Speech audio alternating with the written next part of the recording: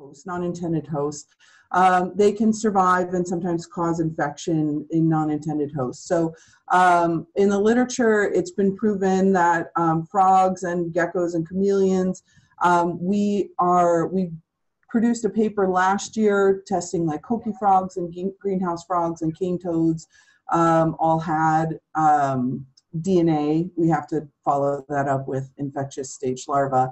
Um, and yes, if an animal ingests those, um, and humans or dogs or birds, then that third stage larva um, could carry on and potentially cause disease. Uh, prawns have been identified as um, being a host, a non-intended host. And then over here, last year we also produced a paper about rat lungworm in water. And so if a slug or snail dies, um, once the body starts to decompose, the worms come out of the body and are able to live freely in water. Um, and in our lab, it's for at least three weeks. Um, and so then, you know, what happens, the question is the life cycle, what happens to um, those larvae? Um, we have some other studies that we've been running that to find that they are pretty sensitive to desiccation, but in the event that they don't dry out, um, are they going to infect, um, you know, potentially other hosts through water? Uh, this is tadpoles and other frogs, and what happens if other people eat those? And then, really interestingly, um, which was something that was known sort of a lot of people knew and it's well known in the literature that snails and slugs are carnivorous upon each other but david modry um, from czech republic also um, produced results to show that um, infection can occur and you can cross infect um, a slug and snail just from being carnivorous so if a slug is infected with a you know l3 larva then and it feeds off of um, excuse me, if a slugger snail is not infected and it feeds off of a slugger snail that is infected, then the infection can spread. Um, and so he actually proposed that carnivorous slugs, an infection is spreading probably mostly through this carnivore action, and maybe even more importantly than between um, rats and slugs and snails. And so that was also really interesting, which kind of affects um, how you know, people might want to think about doing slug and snail control on their property. Um, and we have talked a lot about, you know, just because you kill the slug or snail does not mean that you kill the parasite inside. So be really careful. We haven't had a chance to test a lot of the slug baits and other uh, things out there, mechanisms that people are using. So just be really cautious of a dead um, carcass. Um, so we have a great complex life cycle. Um, but for the most part, human cases um, have mostly been attributed in the literature towards um, ingesting or consumption of uh, slug or snail. Um, there are a lot of cryptic cases out there where we're not entirely sure where infection is coming from. Um, but for the most part, a lot of people globally attribute infection to slugs and snails. So it would make sense to then overlay what is the infection um, that we see in humans with slug and snail data. And in theory, you should see some sort of a correlation if that was a primary means by people getting infected, that um, in areas with higher human infection, you would see higher slug or snail infection um, either prevalence, the number of slugs and snails infected, or the loads and how many parasites they have. Um, and so, much to our benefit, the um, Hawaii Department of Health has published uh, their data um, in 2019. They um, they published this map and across the islands, and you can see the case. So you've got um, most of the island chain really, they divided this up by zip code. And so most of the island chain has very few cases. This, these light grays are in the one to five over, and this is over the time period, 10 year time period from 2007 to 2017. Um, but here you can see on the Big Island, the Hilo zip code, the Keaʻau zip code, and then the Puna zip code um, all have an increased um, occurrence of human infection. And so with uh, Puna being the highest. And then they took their data and what they did, so when they mapped these human cases, um, if there was a known site of infection to say, okay, I know I got um, exposed in this, you know, in this district, then they then they track that um, address with the patient to say they were infected here. But if there is no known um, infection, source of infection, then they just use the um, person's residence, their home residence. Um, and so, like for example, um, most recently there was a case on Kauai that she had actually traveled to the Big Island um, and got infected uh, on the Big Island. So they track that to the Big Island rather than tracking it to Kauai. Um, but what's interesting is that they broke down, they used the um, ArcGIS uh, hotspot analysis software, and they were able to um, further break down human infection, um, and this is by census block group. And they found that the Hilo uh, district and then the Lower Puna district are both uh, considered hotspots for human infection. Um, what is really interesting, I happen to live in the Keaʻau district, which seems to have in their zip code map the same occurrence as Hilo, um, but it's not considered a hotspot. And my guess would be because the lots in the Keaʻau district are like one to two acre sized lots um, versus the Hilo and lower Puna districts have much smaller subdivisions, so there's a higher population density. Um, it would be really interesting to see uh, this data reanalyzed under um, number of cases per 100,000 you know, population size or something like that. Um, so that's kind of an overview of, of human case infection. And then slug and snail infection, one of the biggest studies done to date, what came from Rob Cowie's lab on Oahu. Um, his student, um, they published two papers. There's the Kim et al. 2014 and 2018 they had 1,271 specimens from across the island chains. That was 37 species, 182 sites that were collected over an eight year time period. Um, and so I took their data, they um, published their data and did a supplemental database where they included all the uh, GPS locations of all the samples they took.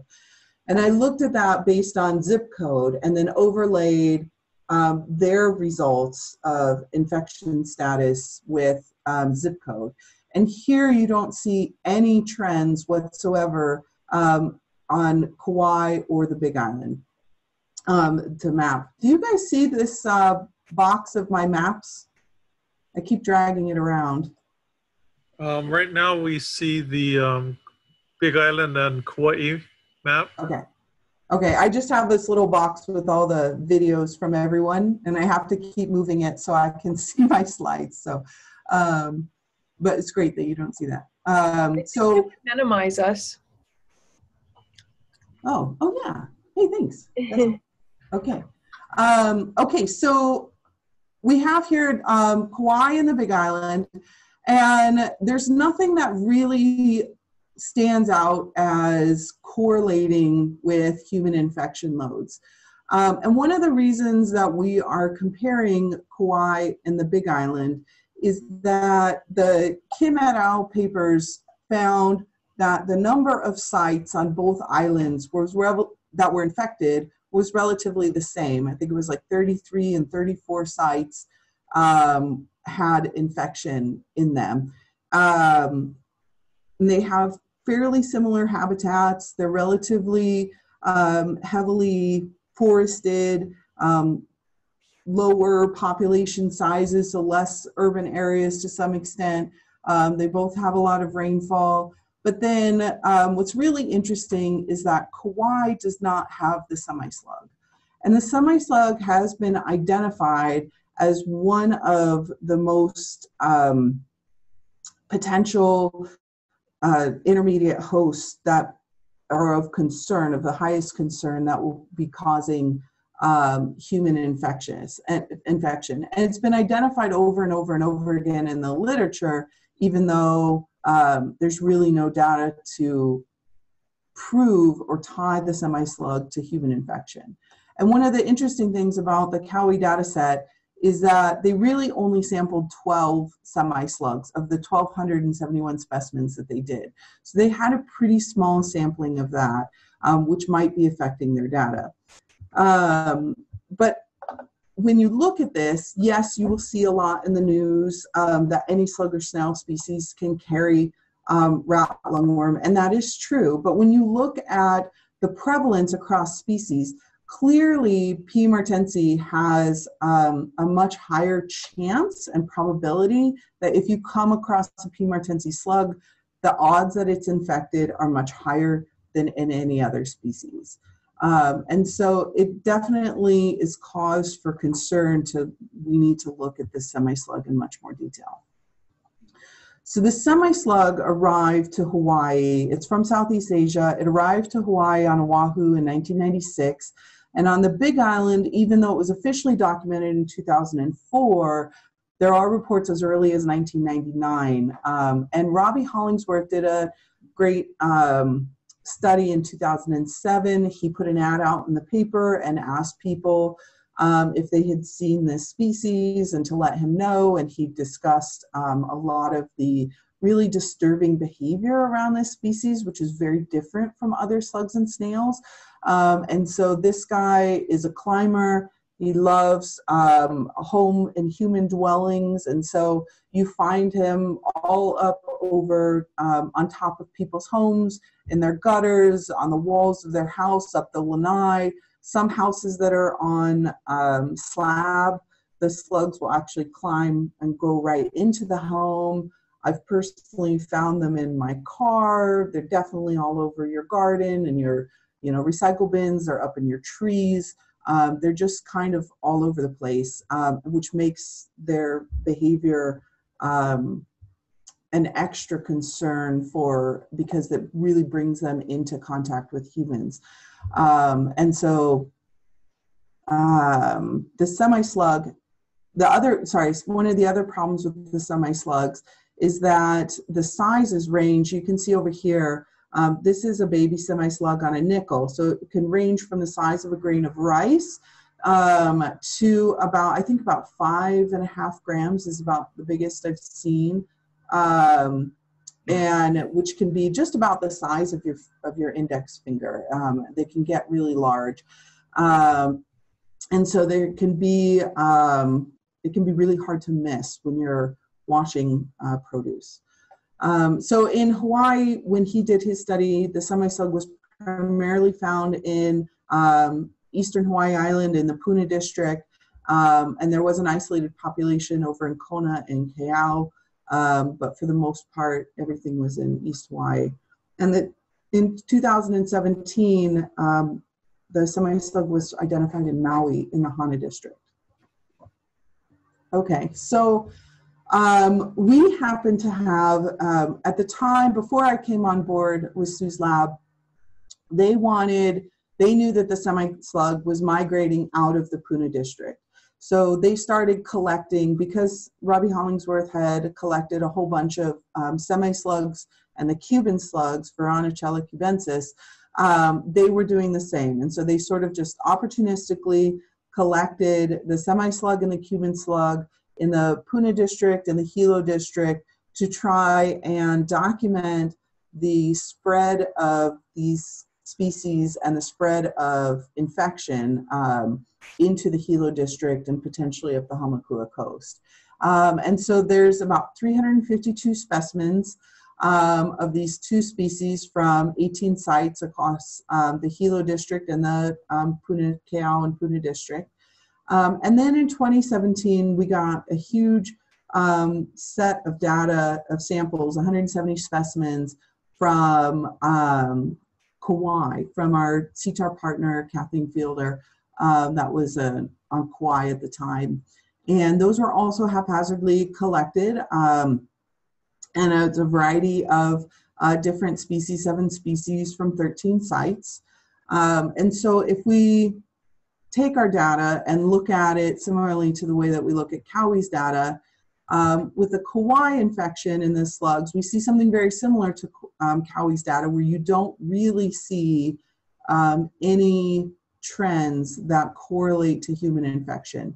Now I there's like huge glaring red flags on, on this statement is that I understand that correlation does not is not causation and then also um, neither of our samples or neither of our studies um, cowie study or uh, you know what we collected were designed for this purpose. So we didn't know that the hawaii department of health was going to publish their data and we didn't know how they would analyze it or how um, they would you know do it or when they would do it. And it just kind of happened that this paper came out and we said hey what can we do now that we have more information on human infection how can we look at that and how can we use that? Um, and so yeah our sample sizes are all over the place. Um, the sites are kind of all over the place. It's not necessarily a, a great representation of the entire zip code area. Um, and so it would be great to get some more detail on human infection um, and really map that more with slug and snail infection. Um, but the interesting part, despite some of these limitations um, and, and you know, experimental design issues that we've got, um, when you look at our slug and snail data from the Big Island and you're looking at our 352 specimens of the semi-slug and the Cuban slug, you start to see something that is a little bit more in line with human infection. Um, and for the most part, P. martensi is driving a lot of this because we found 84% infected of P. martensi and 35% infection in the Cuban slugs. Um, when you break that down into these areas, so our sites, our Hilo sites actually were in this Hilo hotspot district um, and there's 62% infection of P. martensi. Um, that was 29 samples. And the parasite load had a mean of nine and a median of zero um, L3 um, per milligram of tissue. Um, and we take the tail tissue. Um, there was a, a, previous study that Sue did that found the parasites to be primarily concentrated in the tail of the semi-slug. Um, in the cow district of 31 samples, um, we saw 90% infection with a mean parasite load of 17 larvae and a median parasite load of two uh. And then the lower Puna district, 87% infection with 150 samples. It's a pretty good sample size. Um, and, and parasite load is going up, um, mean of 25, median of nine. Um, and then in the Mountain View area, we had um, only three samples, uh, but both the mean and medians um, came out as uh, zero L3. So we detected the DNA, it was definitely had DNA there. It was just below, the amount of DNA that was there is below our detection capabilities um, to be able to calculate how many. So we have a, a number of standards and that it came up as positive. It's just well outside our standards for, for our assay that we have.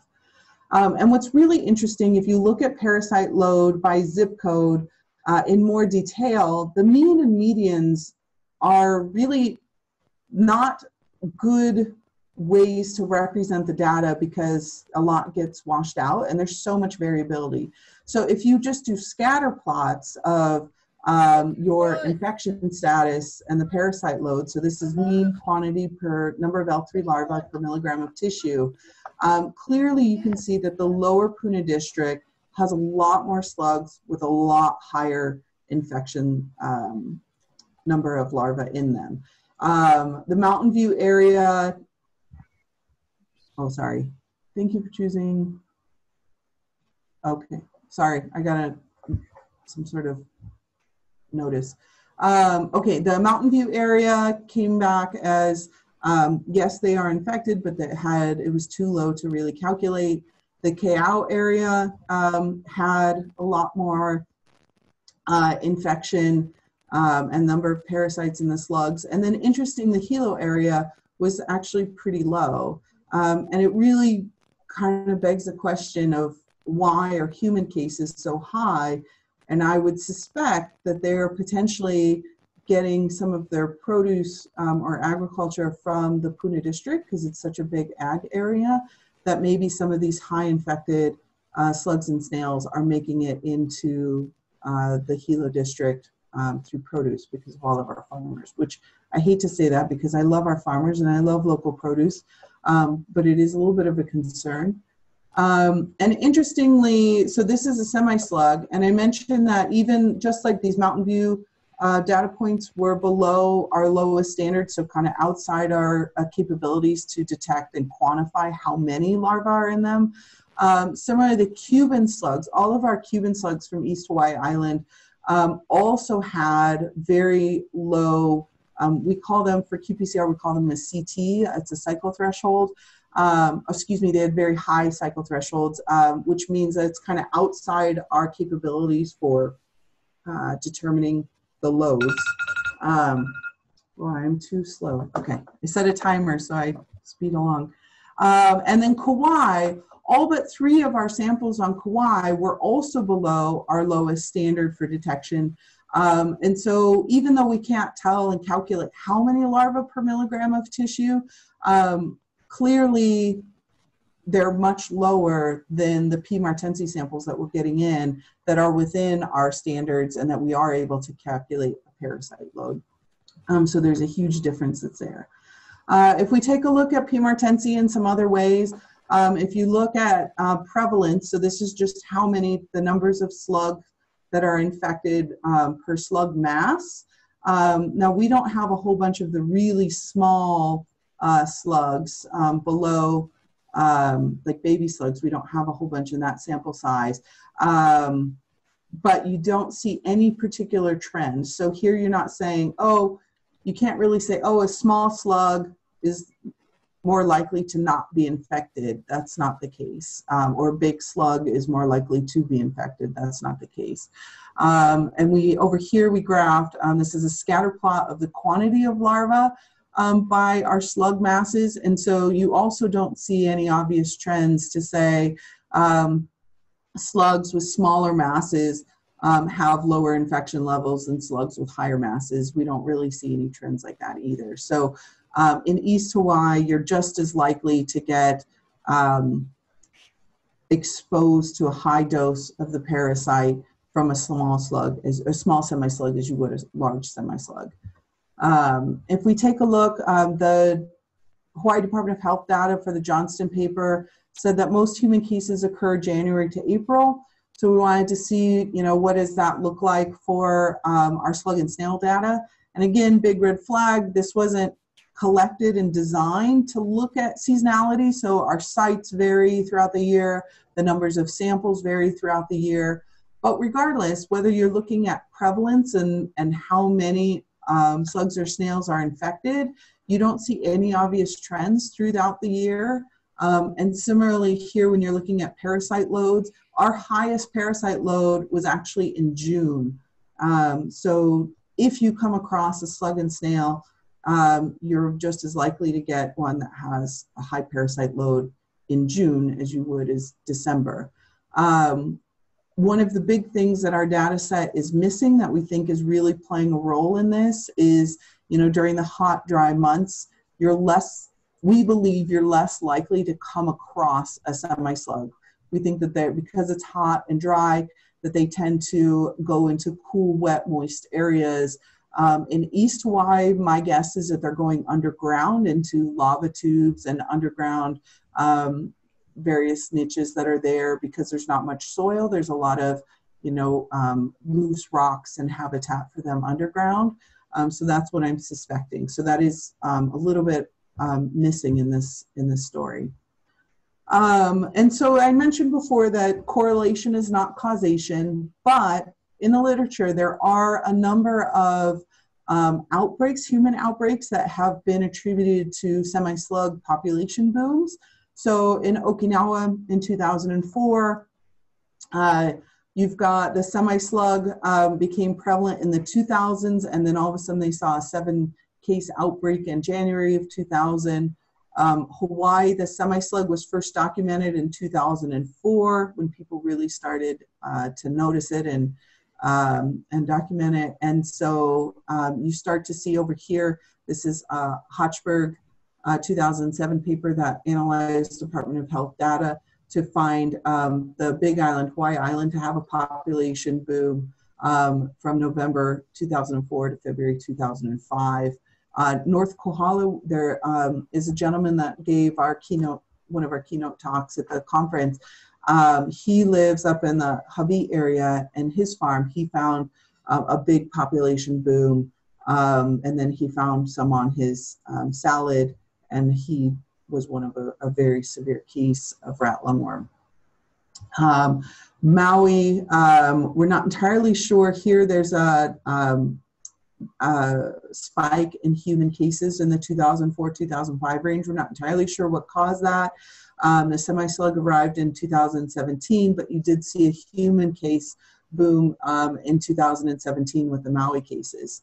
Um, and what's really kind of stumping me and I'm really interested in is Oahu. I know people in East Hawaii say, oh, once Oahu gets it, um, then they'll start to care and they'll put more money at it and it will be, you know, things will be better for us because, you know, it's just they don't think it's a problem or whatever. But Oahu actually had the highest number of cases. So you can see this table down below.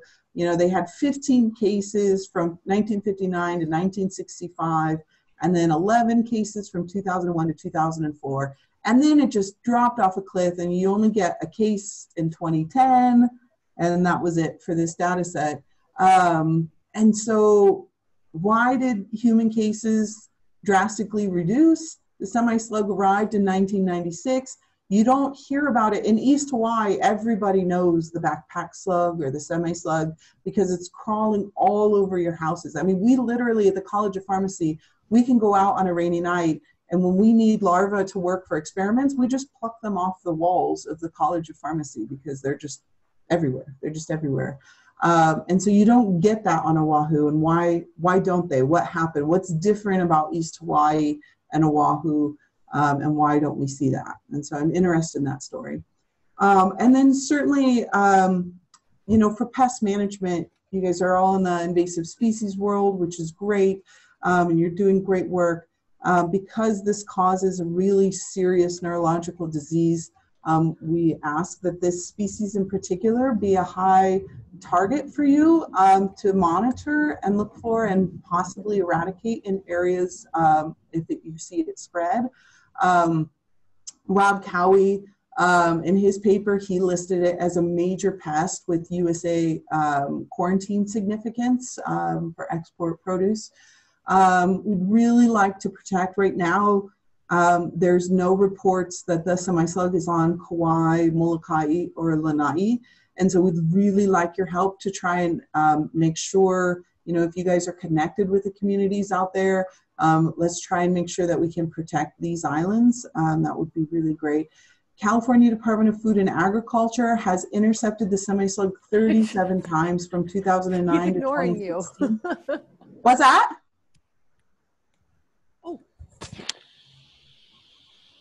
Anyways, okay, sorry. Um, so uh, Hawaii Department of Ag, or excuse me, California Department of Food and Ag, um, it's on their radar for high risk um, and they've got dog teams. It's reported on nursery stocks and plant parts um, that are imported from Hawaii. Um, and they, we are working with the California Vector Control, and we've given them all of our methods um, for testing rat lungworm in rats, slugs, and snails. They have some isolated populations of coqui frogs um, over there. Um, and I, I'm not sure if they're going to be looking at other things like centipedes or things like that too. Um, but really, we need a big, comprehensive statewide monitoring program of the semi slug because we really just don't have a bunch of information about this species in particular. Um, we'd love to get some citizen science involved. Kathleen Howe has been doing great things with the schools uh, school garden programs. I think Franny Brewer has also um, been working a lot with um, schools and education and the and their school garden programs, which has been great to pass the tor- torch and get some BIISC help with that. Thank you, thank you. Um, qPCR, so to determine infection loads, we tend to do qPCR, which is um, a lot more cumbersome for cost and equipment and time and personnel and all that, trained, experienced personnel. But we're trying to develop this recombinant recombinase polymerase assay, RPA, which is sort of like a pregnancy test kit that maybe we could get um, you know people to do either in the field or um, you know citizen science kind of people to help with monitoring. Um, and so I'd like to ask for your help. I've established this email, semislug at hawaii.edu. Um, that's going to go directly to me, and I'd like to start, um, you know, developing collaborations with people across the state to try and help figure out, you know, exactly where is the semi-slug now and track anywhere it might be going. We don't necessarily know um, its elevation limits or, you know, rainfall limits. If it's really, there's reports that it's over in Kona. We're not entirely sure. We haven't tracked everything quite yet. Um, so definitely ge- geographic distribution, uh, trying to keep it off Kauai, Molokai, Lanai, uh, Maui, any out areas outside of the Hana district. Um, on Oahu, the semi-slug is on Oahu. Um, Rob Cowie, I need to get some more information from him, um, but we need to exactly figure out where it is and monitor um, for the rest of the state because I, I think it's just fascinating why it's so different on Oahu than it is here. Um, and then um, abundance data of this species. So that's a big thing that's also missing is that, you know, I go out and do slug and snail control on my own property and I can tell a huge difference throughout the year um, or with the rain. Um, you know, if you come out in your yard between rain showers, you know, they all come out, you can easily um, pluck them for a slug jug or whatever. Um, but then also to get some more information about these huge population booms. And there's just a lot of reports from people that they just say, wow, I never saw this slug before. And then all of a sudden there was just hundreds everywhere. Where did they come from? How did they get here? How do I get rid of them? Kind of thing. Um, and infection prevalence load So if you start to help and you um, find the semi-slug in areas that we don't know that it exists, if you could collect some samples and put one slug in one Ziploc bag, label it with the date and GPS location that you found it, and just throw it in the freezer, then we can arrange to have um, samples uh, shipped over to us so that we can start, um, you know, a new study with trying to track, you know, what's happening over time. And we'd be happy to be collaborators with that. Um, and then any unusual behavior. So over here, there are reports um, of these huge population booms, especially when the semi-slug enters an area. Um, there are reports of large underground clusters um, in plant root balls. Um, people are really concerned about well water and county aquifers. I have no reason to suspect that they go that deep, but I don't really know. Um, there's a lot of um, anecdotal reports from people that when they're digging with backhoes or things that they'll just come across huge masses of them underground. Um, we also, other slugs and snails can repel from um, ceilings, so they'll crawl up onto the ceilings and then repel down with their slime and use their slime sort of like a rope. So we'd like to document that further. Um, so if you have any evidence and documenting of, of the semi-slug, especially doing that, um, we'd love to document that further. So um, anyways, with that, we've had a lot of great collaborators and we hope to have new ones if you guys want to join the fight. Well, some of you already are, but um, yeah, I'd be happy to take any questions.